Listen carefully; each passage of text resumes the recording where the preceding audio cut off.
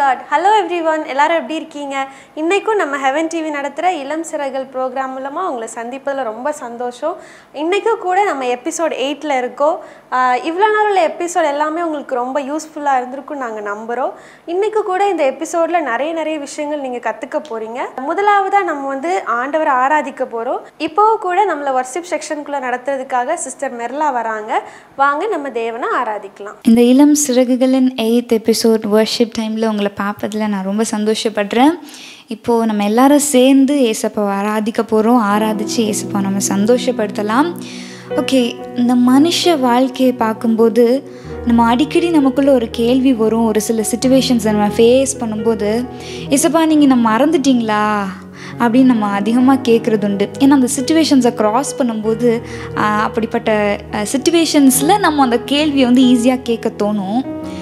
ஆனால் இந்த உலகத்தை படைத்த காட் நம்மளை பார்த்து சொல்கிறாரு நீ என்னால் மறக்கப்படுவதில்லை. நீ என்னால் மறக்கப்படுவதில்லை. ஆமாம் எப்படின்னு சொன்னீங்கன்னா கொஞ்சம் யோசிச்சு பாருங்கள் தாயின் கருவில் தோன்றதுக்கு முன்னாடியே நம்மளை தெரிந்து கொண்டவர். சின்ன வயசுலேருந்து நம்மளுக்கு என்னென்ன தேவையோ அது எல்லாம் ஒவ்வொரு நாளும் நம்மளுக்கு கொடுத்துட்டு வராங்க. நம்ம ஃபுட் இவ்வளோ நாள் குறைபாடு இல்லாமல் நம்மளுக்கு கொடுத்துட்டு வராங்க. நல்ல நாலேஜ் கொடுத்துருக்காங்க. தண்ணி கொடுத்துருக்காங்க. நம்ம சுவாசிக்கிறதுக்கு இந்த நல்ல ஒரு காற்று கொடுத்துருக்காங்க. நம்ம ஒவ்வொரு பாடி ஒவ்வொரு அவயங்களும் ஃபங்க்ஷன் ஆகிறதுக்கு கிருபை செஞ்சுருக்காங்க.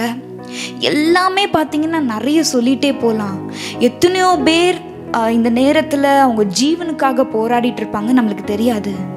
ஆனால் இந்த வேலையில் நம்மளுக்கு இந்த ஜீவனை கொடுத்து நம்மளை பாதுகாத்திருக்காருன்னா அவருடைய கிருபையை நம்ம வந்து மறந்துடவே கூடாது.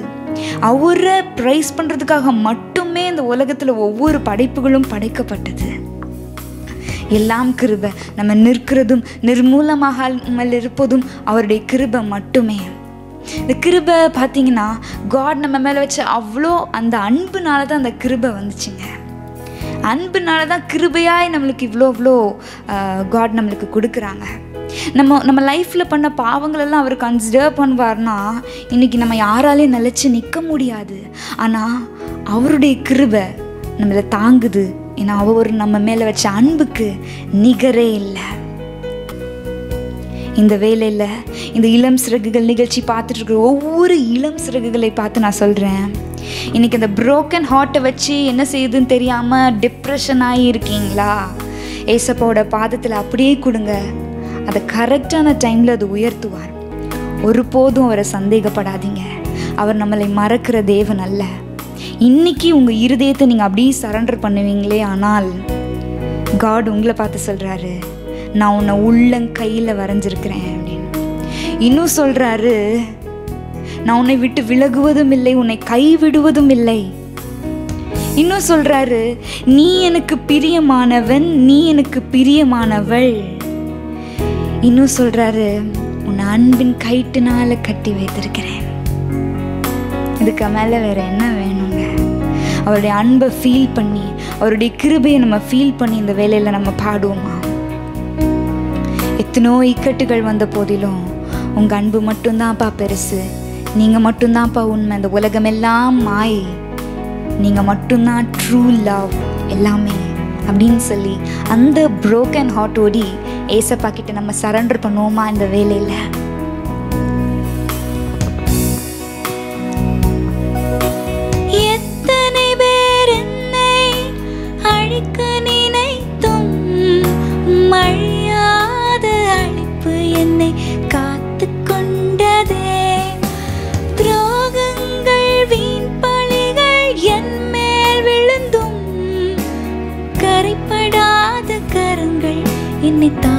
கொண்டதே எஜமானனே என் அழைத்த அழைப்பின் காரணனே. என் எஜமானனே என்றும் நடத்தும் எஜமானனே. உங்க அழைப்பு இருந்ததால நான் அழிந்து போவதில்லை. உங்க அன்பு இருந்ததால நான் கைவிடப்படல. உங்க கிருபை என்ன காத்ததால வாழ்ந்து கொண்டிருக்கேன். உங்க அன்பிற்கு நிகரே இல்ல. உங்க கிருபை என்ன காத்ததால வாழ்ந்து கொண்டிருக்கேன். உங்க அன்பு நிகரே இல்லை.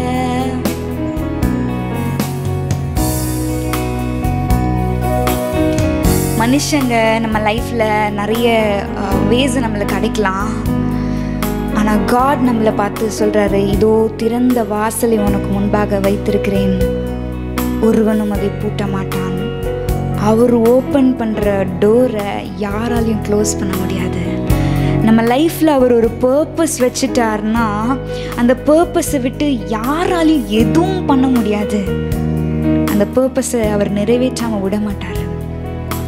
ஒவ்வொரு ஒவ்வொரு ஹியூமன் பீன்ஸ்க்கும் காட் இந்த உலகத்தில் பிறக்கிறதுக்கு முன்னாடி ஒவ்வொரு பர்பஸை வச்சுட்டாரு. ஒவ்வொருத்தருக்கு மேலேயும். அந்த திட்டத்தை இப்போ நானாக நினச்சாலும் மாற்ற முடியாது நம்மளாக நினச்சாலும் மாற்ற முடியாது வேற யார் நினச்சாலும் மாற்ற முடியாது. எத்தனோ தடைகள் வந்தாலும் சரி அவர் நினச்ச அந்த பர்பஸை யாராலையும் மாற்ற முடியாது. பாடுவோமா?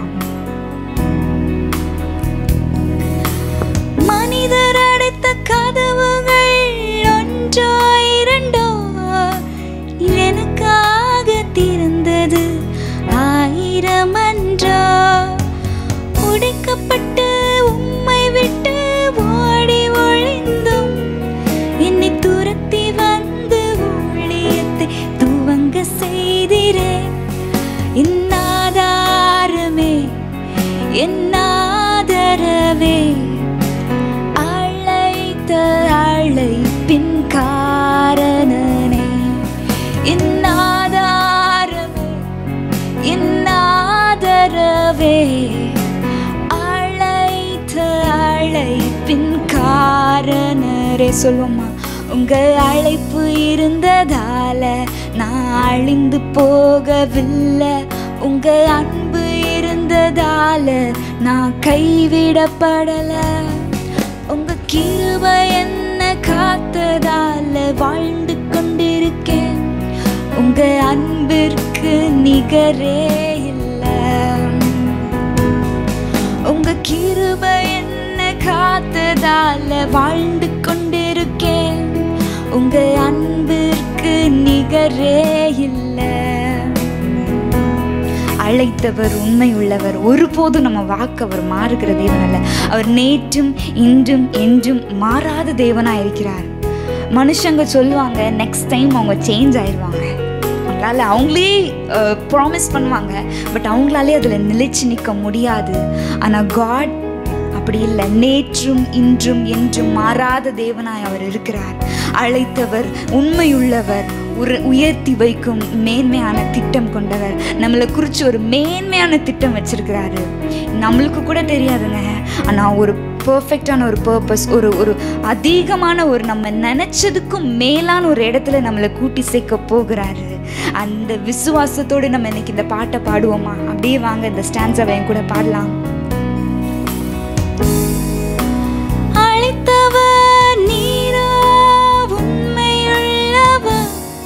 என்னை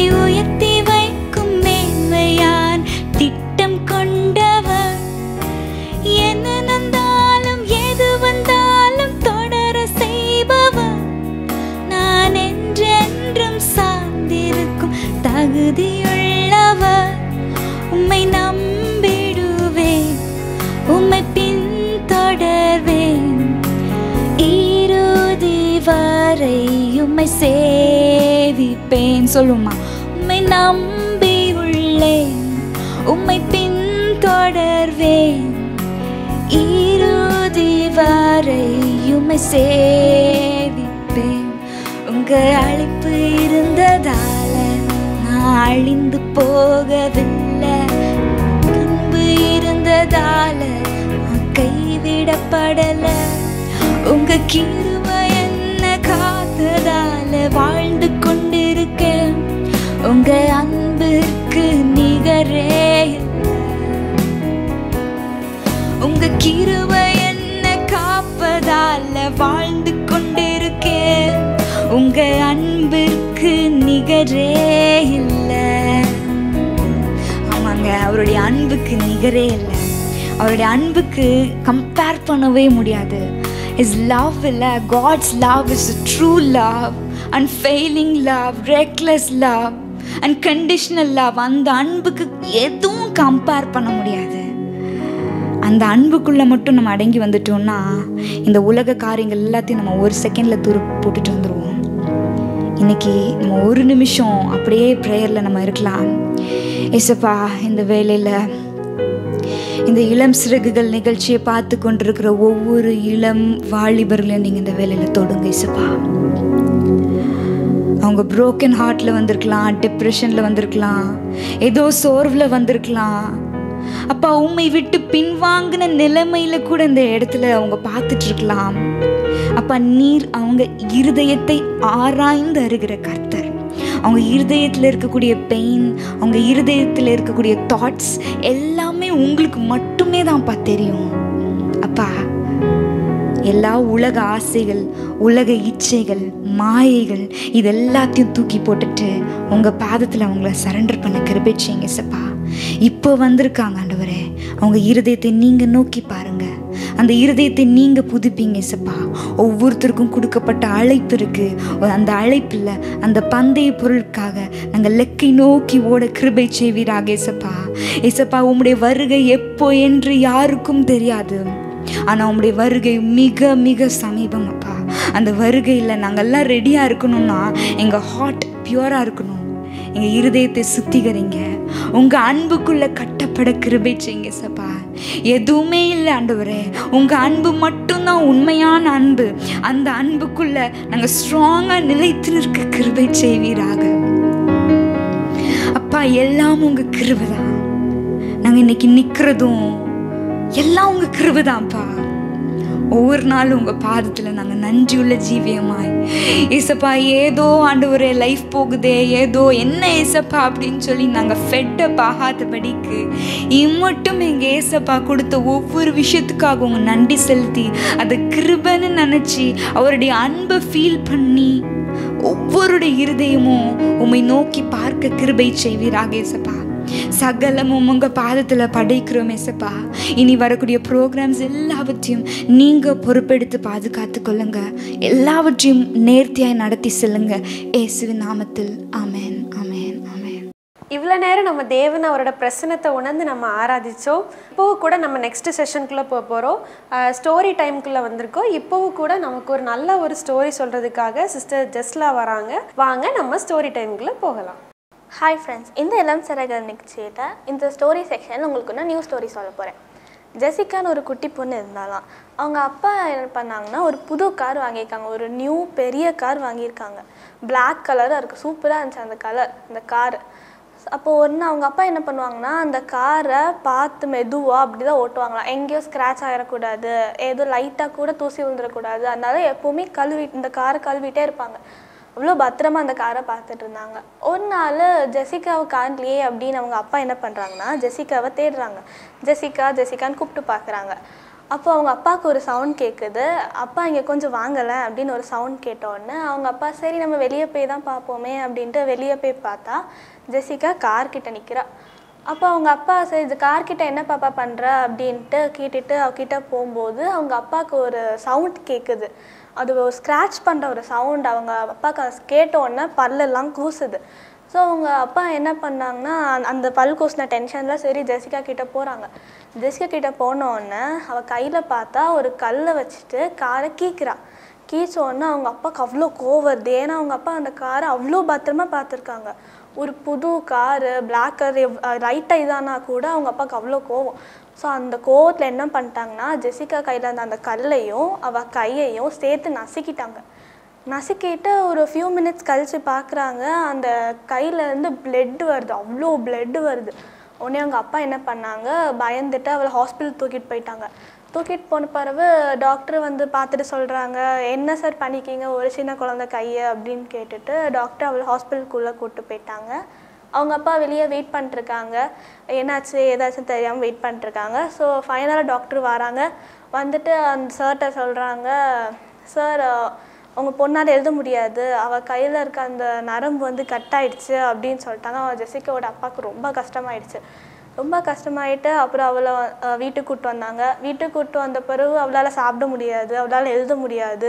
கையில் அந்த அவளுக்கு நல்ல பெயினாக இருக்கும். உடனே அவங்க அப்பா வந்து அதை பார்த்து ரொம்ப ஃபீல் பண்ணுவாங்க. சார் இப்படி பண்ணிட்டோமே அப்படின்னு நல்லா ஃபீல் பண்ணாங்க. அவளால் எதுவும் செய்ய முடியலேன்னு அப்படின்னு ஃபீல் பண்ணாங்க.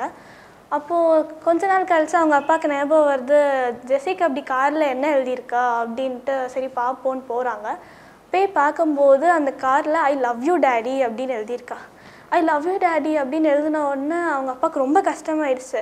சார் இப்படி எ- இப்படி பண்ணிட்டோமே அவளை அப்படின்ட்டு கஷ்டத்தில் அவள் ஜெசிகா கிட்டே போயிட்டு சாரி ஜெசிகா என்னை மன்னிச்சிரு நான் இப்படி பண்ண மாட்டேன் சாரி அப்படின்னு ரொம்ப கே இது பண்ணுறாங்க சாரி கேட்குறாங்க உடனே ஜெசிகா மறுபடியும் சொல்கிறா ஐ லவ் யூ டேடி அப்படின்னு சொல்கிறா பார்த்தீங்களா ஃப்ரெண்ட்ஸ் ஜெசிகாவுக்கு வந்து கோபமே வரல. அவங்க அப்பா இப்படி பண்ணிட்டாங்களே அப்படின்னு எந்த கோபமே வரல. அவள் அதே அன்பை தான் இருக்கா.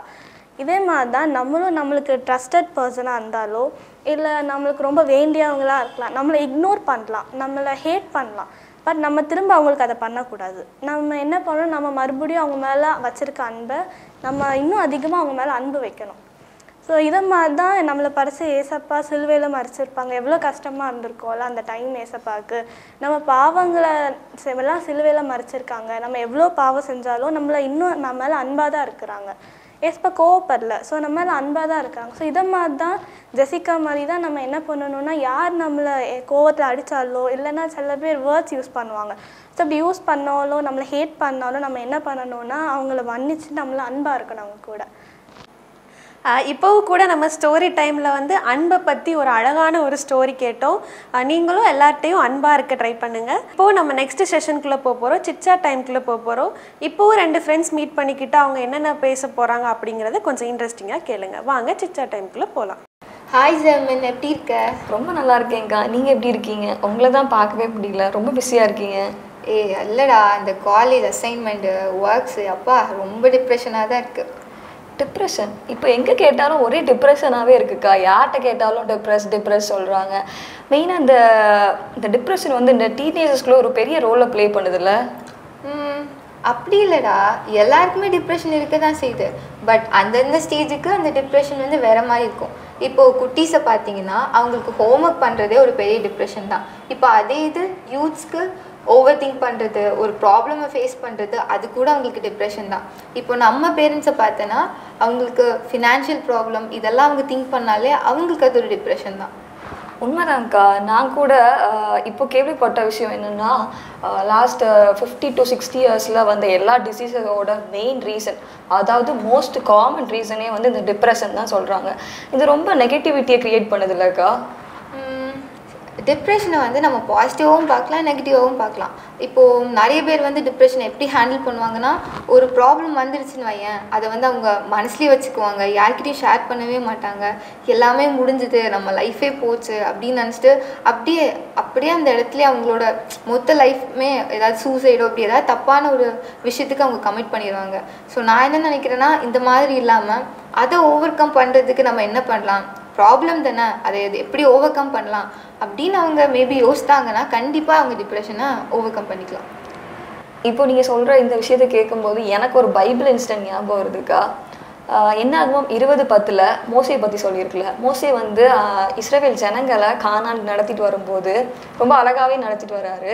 என்னதான் அவங்க கேட்டாலுமே காட்டை கேட்டு அவங்களுக்கு அவங்களுடைய தேவைகள்லாம் சாட்டிஸ்ஃபை பண்ணி நடத்திட்டு வராங்க. இருந்தாலும் இந்த ஜனங்கள் வந்து முறுமுறுத்துட்டே இருக்காங்க. நீங்கள் எதுவுமே பண்ணல அந்த மாதிரி அவங்க முறு முறுத்துட்டே இருக்கிறாங்க. எவ்வளோதான் பெரிய அதிசயங்களை அவங்க பார்த்தாலுமே ஸ்டில் அவங்க முறுமுறுத்துட்டே இருக்கிறாங்க. இது இந்த விஷயம் வந்து மோஸ்ட்லி ஒரு அழுத்தமாகவே இருக்குது. ஃபைனலாக வந்து அந்த ஜனங்கள் வந்து தண்ணீருக்காக சண்டை போடும்போது இந்த அழுத்தம் வந்து வெளிப்படுது. எப்படி வெளிப்படுதுன்னா தண்ணி கேட்கும்போது ஏசப்பா சொல்கிறாங்க நீ அந்த கண்மலைகிட்ட போய் பேசு அப்போ உனக்கு தண்ணி வரும் அப்படின்னு சொல்கிறாங்க ஆனால் இவர் என்ன பண்ணிட்டாருன்னா அவர் கையில் இருந்த கோலால் அந்த கண்மலையை வந்து டூ டைம்ஸ் அடிச்சிடுறாரு. இது நிமித்தம் அவர் வந்து அந்த காணான் போகிற பிளெஸ்ஸிங்கே அவர் வந்து இழந்துட்டாரு. அவ்வளோ நாள் அவர் கஷ்டப்படுத்தி நடத்திட்டு வந்தார். ஃபைனலாக அந்த ஒரு விஷயத்தினால அவர் அந்த பெரிய பிளெஸ்ஸிங்கே இழந்துட்டார். அந்த கோவத்தின் வெளிப்பாடு நெகட்டிவாக இருந்தனால. ஆ நீ சொன்னது கரெக்ட் தான். பட் இதை நம்ம வந்து இன்னொரு விதமாக கூட பார்க்கலாம். பைபிளில் பார்த்தோன்னா யாபேஸ்னு ஒரு கேரக்டர் இருக்காங்க. ஸோ யாபேஸ் என்கிற அந்த வேர்டோட மீனிங் என்னன்னா வேதனை. ஏன் அவங்களுக்கு அந்த பேர் வச்சாங்கன்னா அவங்க அம்மா அவங்களுக்கு பர்த் கொடுக்குறப்போ அப்படி ஒரு டஃப்பான சுச்சுவேஷனை ஃபேஸ் பண்ணியிருக்காங்க. ரொம்ப வேதனையின் மத்தியில் அவங்க அவங்களுக்கு பர்த் கொடுத்தனால யாபேஸ்னு பேர் வச்சாங்க. ஸோ கண்டிப்பாக இது வந்து யாபேஸ்க்கு தெரியும்ல அவங்க பேரோட பொருள் இதுதான் அவங்களுக்கு தெரியிறப்போ கண்டிப்பாக அவங்க வந்து ரொம்ப வேதனைப்பட்டிருப்பாங்க. ஸோ என்ன பண்ணுறாங்க அவங்க வந்து காட் கிட்ட இந்த இந்த ப்ராப்ளம் எல்லாம் மாறணும் இந்த சுச்சுவேஷன் எல்லாம் பழையபடி நல்லபடியாக மாறணும் அப்படின்னு ப்ரேயர் பண்ணுறாங்க அந்த வேதனையில் ம வேதனையின் மத்தியில் எடுக்கக்கூடிய அந்த ப்ரேயருக்கு காட் வந்து ஆன்சர் பண்ணுவாங்க. அவங்க சுச்சுவேஷன் எல்லாம் மாற்றி போடுவாங்க. இந்த மாதிரி ஒரு கடினமான சூழ்நிலை மத்தியிலையும் யாபேஸ் எடுத்த அந்த ஜெபத்துக்கு காட் வந்து ஆன்சர் பண்ணாங்க. ஸோ நம்ம வந்து டிப்ரெஷனில் இருக்கிறப்போ பண்ணுற ப்ரேயருக்கும் நார்மலாக நம்ம பண்ணுற ப்ரேயருக்கும் ஒரு டிஃப்ரென்ஸ் இருக்கும்.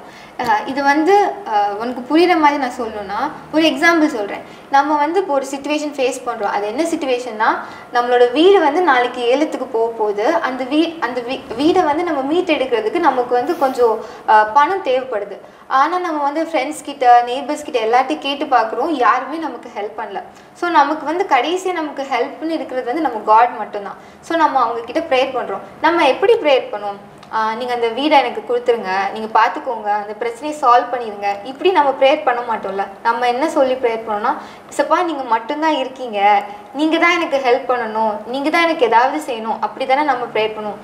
அந்த அத்தாரிட்டியை தான் இந்த டிப்ரெஷன் இந்த டிப்ரெஷனில் இருக்கிறப்போ அந்த அத்தாரிட்டி நம்ம நம்ம வந்து ப்ரேயரில் காட்டுறோம். ஸோ நம்ம வந்து எல்லா ப்ராப்ளமே அப்படி தான் ஒரு அத்தாரிட்டியோட காட் கிட்ட நம்ம கேட்டோம்னா கண்டிப்பாக அந்த ப்ராப்ளத்தை இசப்பா மாற்றி தருவாங்க.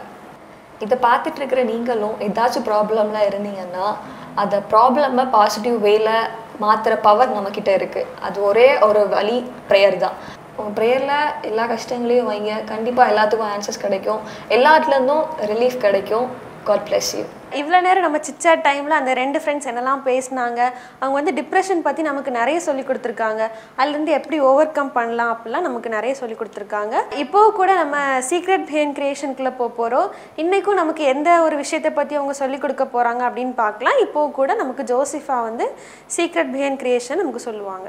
இன்றைக்கி இந்த இளம் சிறகுகள் நிகழ்ச்சி மூலமாக உங்களை மறுபடியும் பார்க்குறதுல ரொம்ப சந்தோஷம். இன்றைக்கி நம்ம சீக்கிரம் பிஹாண்ட் த க்ரியேஷனில் என்ன பார்க்க போகிறோம்னா சால்ட்டை பற்றி பார்க்க போகிறோம் நம்ம ஒரு ஃபுட்டில் நம்ம சால்ட் ஆட் பண்ணும்போது அது டேஸ்ட்டாக மாறுது. அப்படி தானே ம பைபிளில் மற்றையும் அஞ்சு பதிமூணில் என்ன சொல்லியிருக்குன்னா நீங்கள் பூமிக்கு உப்பாக இருக்கிறீர்கள் அப்படின்னு. நம்ம இப்போ ஒரு ஃபுட்டில் நம்ம அந்த சால்ட் ஆட் பண்ணும்போது அது எப்படி அது டேஸ்ட்டாக மாறுதோ அந்த மாதிரி நம்மளும் இந்த உலகத்தில் பிறருக்கு பிரயோஜனம் உள்ளவங்களா பயனுள்ளவங்களா நம்ம வந்து வாழணும். யோபு ஆறு ஆறில் என்ன கொடுத்துருக்குன்னா ருசி இல்லாத பதார்த்தத்தை உப்பு இல்லாமல் நம்ம சாப்பிட முடியுமா அப்படின்னு கேட்டிருக்கு. அதாவது இப்போ ஒரு ஃபுட்டில் டேஸ்ட் இல்லை அப்படின்னா நம்ம அதில் சால்ட் ஆட் பண்ணாமல் நம்ம என்ன பண்ண முடியாது? சாப்பிட முடியாது. ஏன்னா நம்ம அதில் சால்ட் ஆட் பண்ணால் தான் அது வந்து டேஸ்ட்டாக மாறும்.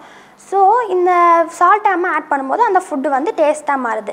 அதே வேளையில் இப்போ நம்ம வந்து அந்த ஃபுட்டில் நம்ம சால்ட்டை ஆட் பண்ணும்போது அது டேஸ்ட் கொடுக்கலன்னா நம்ம என்ன பண்ணுறது அதை உப்பே அந்த ஃபுட்டுக்கு டேஸ்ட் கொடுக்கலன்னா என்ன பண்ணுறது பைபிள் சொல்கிறபடி அது வெளியே கொட்டப்படுவதற்கும் மனுஷருடைய கால்கள் மிதிப்படுறதுக்குமே ஒழிய வேறு எதுக்கும் யூஸ் பண்ண முடியாது அப்படின்னு.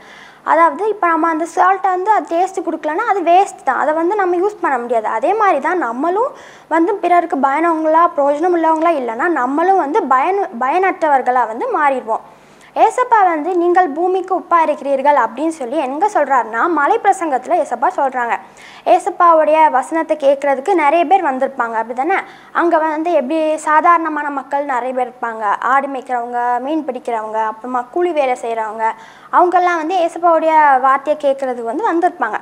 அப்போ அந்த சாதாரணமான மக்களை பற்றி பார்த்து ஏசப்பா என்ன சொல்கிறாங்க நீங்கள் வந்து பூமிக்கு உப்பாக இருக்கிறீர்கள் அதாவது இன்றைக்கி நம்ம காசை கொடுத்து ஒரு பொருளை வாங்குகிற மாதிரி அன்னைக்கு வந்து உப்பை கொடுத்து ஒரு பொருள் பொருட்களை வாங்கியிருக்காங்க. அந்த அளவு அந்த உப்பு வந்து மதிப்புடையதா? அதுக்கு அந்த வேல்யூவாக இருந்துச்சு. அப்போ வந்து இந்த சாதாரண மக்களை பார்த்து எசப்பா சொல்கிறாங்க நீங்கள் பூமிக்கு உப்பாக இருக்கிறீர்கள் அப்படின்னா நீங்களும் வேல்யூ உடையவங்க உங்களுக்கும் மதிப்பு இருக்குது அப்படிங்கிறத எசப்பா என்ன பண்ணுறாங்க அவங்களுக்கு உணர்த்துறாங்க. அதுக்கப்புறமா இந்த சா ப அன்னைக்கு அந்த காலங்களில் பலி கொடுக்கும்போது அதாவது ஒரு போஜன பலியை வந்து கொடுக்கும்போது அதில் வந்து சால்ட் ஆட் பண்ணணும் அப்படின்னு சொல்லி லேவியர் அகமத்தில் சொல்லியிருக்கு. அதாவது நம்ம ஒரு போஜன பலியை அவங்க வந்து பலி கொடுக்கும்போது அதில் வந்து அவங்க சால்ட் வந்து இது ஆட் பண்ணியிருக்கணும். அப்படின்னா தான் ஏசப்பா வந்து அந்த இதை வந்து அங்கீகரிப்பாங்க. அதுக்கப்புறமா வந்து கொலோசியர் நாலு ஆறு என்ன சொல்லுதுன்னா உப்பு அதில் வந்து உப்பை பற்றி சொல்லும்போது என்ன சொல்லியிருக்குன்னா உங்களுடைய வசனம் உப்பால் சாரமேற்றப்படுவதாக அப்படின்னு இருக்குது அதாவது நம்ம இப்போ வந்து ஏசப்பா பற்றி தெரியாதவங்களுக்கு நம்ம ஏசப்பா பற்றி சொல்லும்போது நம்முடைய வார்த்தைகள் வந்து எப்படி இருக்கணும்? ஞானம் உள்ளவங்களா? அவங்க புத்தி உள்ள வார்த்தைகளா? அவங்கள தேத்துற வார்த்தைகளா? அவங்கள ரட்சிப்புக்குள்ளே வழி நடத்துகிற வார்த்தைகளாக இருக்கணும். அப்போ தான் வந்து நம்ம என்ன பண்ண முடியும்? அவங்கள வந்து ஏசப்பாக்குள்ளே வழி நடத்த முடியும். நம்ம வந்து நல்ல பிள்ளைங்களாக இருந்து ஏசப்பா கூட இருந்து நம்ம வந்து இருந்தால் தான் நம்மளால் என்ன பண்ண முடியும்? மற்றவங்களுக்கும் மற்றவங்களுக்கு பிரயோஜனம் உள்ளவங்களாக நம்ம வந்து இருக்க முடியும். அதே வேளையில் நம்மளே தப்பு செய்து நம்ம வந்து பா பாவம் செய்து பாவமான வழியில் நடக்கும்போது நம்மளால் என்ன பண்ண முடியாது? மற்றவங்களுக்கு வந்து பிரயோஜனம் உள்ளவங்களாம் இருக்க முடியாது. ஸோ நான் இந்த இளம் சர்களை பார்த்துட்ருக்கவங்களுக்கு நான் என்ன சொல்கிறேன்னா இந்த உப்பை ஒரு ஃபுட்டில் ஆட் பண்ணும்போது எப்படி அது டேஸ்ட்டு கொடுத்து நம்மளுக்கு அது பயனுள்ளதாக மா ஆக்குதோ அதே மாதிரி நம்மளும் ஏசப்பாவோடைய பிள்ளைகளாக ஏசப்பா கூட இருந்து மற்றவங்களுக்கும் நம்ம வந்து ந- அந்த ஃப்ளேவரை கொடுத்து அவங்களையும் அதே மாதிரி மாற்றணும் இவ்வளோ நேரம் நம்ம சீக்ரெட் பிஹைண்ட் கிரியேஷனில் உப்பு பற்றி பார்த்தோம். உப்பு பற்றி நமக்கு நிறைய விஷயங்களை வந்து ஜோசிஃபா அழகாக சொல்லி கொடுத்தாங்க. இந்த ப்ரோக்ராம் வந்து உங்களுக்கு இவ்வளோ நேரம் யூஸ்ஃபுல்லாக இருந்திருக்கும் நாங்கள் நம்புகிறோம் இப்போவும் கூட இந்த ப்ரோக்ராம் வந்து ஒரு சின்ன ப்ரேயர் பண்ணி முடிக்கலாம். நமக்கு எண்டிங் ப்ரேயர் பண்ணுறதுக்காக சிஸ்டர் மெர்லா வர்றாங்க. வாங்க நம்ம ப்ரேயர் பண்ணலாம். ஒரு நிமிஷம் தலைகளை தாழ்த்தி நம்ம ஜெபிப்போம். இசப்பா இந்த நல்ல நாள் தந்ததுக்கு நன்றி ஆண்டவரே. அப்பா இந்த இளம் சிறகுகள் நிகழ்ச்சியின் பிகினிங்லேருந்து எண்டு வரைக்கும் உங்கள் கிருபை எங்களோடு கூட இருந்து வழிநடத்தினதுக்காக உங்களுக்கு கொடான கொடி நன்றி இசப்பா இசப்பா அதை பார்த்து கொண்டு இருக்கிற ஒவ்வொரு பிள்ளைகளையும் நீங்கள் ஆசீர்வதிங்க. இசப்பா கேட்டதும் விட்டதும் மாத்திரம் அல்ல அதை அவங்க லைஃப்பில் அதை நடத்தி செயல்படுத்த நீங்கள் கிருபை செய்யுங்க இசப்பா உங்கள் அன்பை புரிஞ்சு கொண்டு நாங்கள் பாவம் செய்யக்கூடாது இசப்பா அந்த ஒரு கான்ஷியஸ் மைண்டோடு நாங்கள் எங்கள் லைஃப்பை நாங்கள் செயல்பட கிருபை செய்யுங்க. உமக்கு பிரியமான பாதையில் மட்டும் நாங்க செல்ல எங்களுக்கு கிருபை செய்யுங்க சப்பா. எங்கள் லைஃப் எப்போவுமே ஒரு சால்ட்டாக ஒரு லைட்டாக நீங்கள் சொன்னது போல் ஒரு மற்றவங்களுக்கு மாதிரியாக இருக்கக்கூடிய ஒரு லைஃபாக எங்களை எங்கள் லைஃப் இருக்க கிருபை செய்யுங்க சப்பா. ஒவ்வொருவரையும் நீங்கள் பொறுப்பெடுத்து பாதுகாத்து கொள்ளுங்க. என்னென்ன தேவைகளோடு கேட்டு கொண்டிருப்பாங்களோ தெரியல ஏசப்பா ஆனால் நீர் அறிவீர் அப்பா ஒவ்வொரு தேவைகளும் ஒவ்வொருத்தருக்கு இருக்கிற தேவைகளையும் நீங்கள் சந்திங்க. பாதுகாத்து வழி நடத்துங்க ஏசப்பா எப்போ உங்களுடைய வருகை இருக்கும் என்று எங்களுக்கு தெரியாது. எப்பவுமே நாங்க ரெடியா ஆயத்தமா இருக்க. நீங்க கிருபை செய்யுங்க. உங்களுக்குள்ள நாங்க இன்னும் வளர எங்களுக்கு கிருபை செய்யுங்க. இயேசுவின் நாமத்தில். ஆமென். ஆஹ் இன்னைக்கும் இந்த எபிசோட் வந்து உங்களுக்கு ரொம்ப யூஸ்ஃபுல்லாக இருந்திருக்கும் நாங்கள் நம்புகிறோம் ஒருவேளை இந்த ப்ரோக்ராமை நீங்கள் ஹெவன் டிவியில் பார்க்க மிஸ் பண்ணியிருக்கீங்கன்னா ஹெவன் டிவி டிஜிட்டல் யூடியூப் சேனலில் போய் பாருங்கள் உங்கள் ஃப்ரெண்ட்ஸ் உங்கள் ஃபேமிலி எல்லாத்துக்குமே இதை ஷேர் பண்ணுங்க ஒருவேளை இந்த ப்ரோக்ராமில் நீங்கள் ஜாயின் பண்ணனாலும் இல்லை கவுன்சிலிங் ப்ரேயர் ஏதாவது தேவைப்பட்டாலும் ஸ்க்ரீனில் தர இந்த நம்பருக்கு கான்டாக்ட் பண்ணுங்க.